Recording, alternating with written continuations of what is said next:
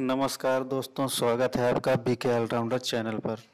दोस्तों, आज मैं आपको बताने वाला हूँ कि बुखार की किसी भी तरह की समस्या हो,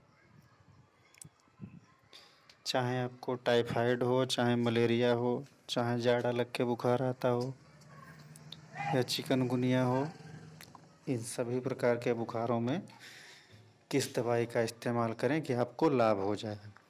तो दोस्तों जैसा कि आप स्क्रीन पर देख पा रहे होंगे, ये गिलोय सिरप है। ये गिलोय सिरप है और इसका रेट जो है एक सौ दस रुपये है। ये सभी प्रकार के बुखार जैसे डेंगू, मलेरिया, चिकनगुनिया, टाइफाइड में अत्यंत लाभदायक है। ये यूज़ की हुई इसका पूरा अनुभव है हमें। ये बहुत ही बढ़िया सिरप होती है।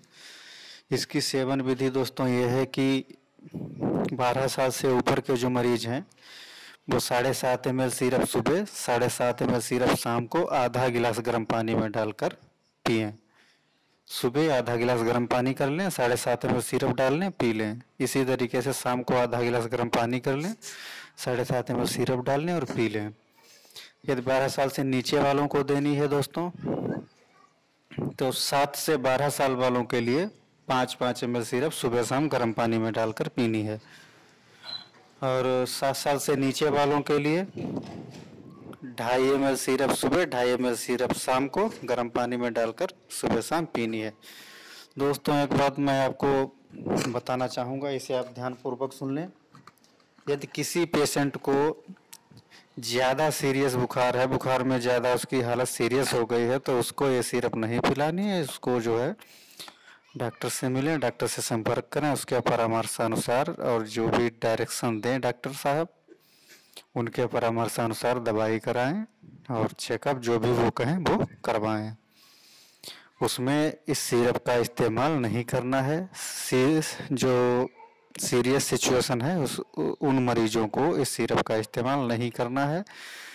ये ऐसे लोगों को इस्तेमाल करनी है जिनको नॉर्मली बुखार छोड़ नहीं रहा है, हाथ पैरों में दर्द हो रही है मुँह में कड़वाहट है, स्वाद नहीं अच्छा है, कोई चीज़ खाने में अच्छी नहीं लगती है, कड़वी लगती है तो ऐसे लोगों के लिए ये सिरप होती है।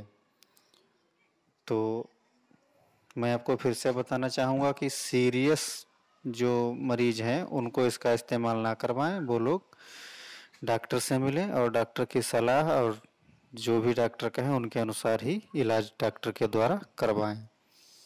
तो यदि दोस्तों कोई भी आपका जान पहचान वाला या आपके घर में या कोई रिश्तेदार या दोस्त, किस कोई भी व्यक्ति ऐसा है जिसे आप जानते हैं और उसको बुखार की समस्या है, मुँह में कड़वाहट रहती है, भूख नहीं लगती है, मुँह का टेस्ट सही नहीं है तो उसको दोस्तों इस सिरप का इस्तेमाल करवाएँ और इसका लाभ उठवाएँ। इस सिरप का जब वो इस्तेमाल करेंगे तो उनको फ़ायदा ज़रूर होगा। दोस्तों हमारे चैनल पर आपको इसी तरह के स्वास्थ्य वीडियो मिलते रहते हैं। तो दोस्तों, यदि आपको मेरे वीडियो की जानकारी पसंद आई हो तो मेरे वीडियो को लाइक कर दें, शेयर कर दें और मेरे चैनल को सब्सक्राइब कर दें। दोस्तों, सब्सक्राइब करने में आपका कुछ नहीं जाता है और हमें अच्छे अच्छे वीडियो बनाने के लिए प्रेरणा मिलती है। तो आज का वीडियो दोस्तों ज़्यादा लंबा नहीं करेंगे।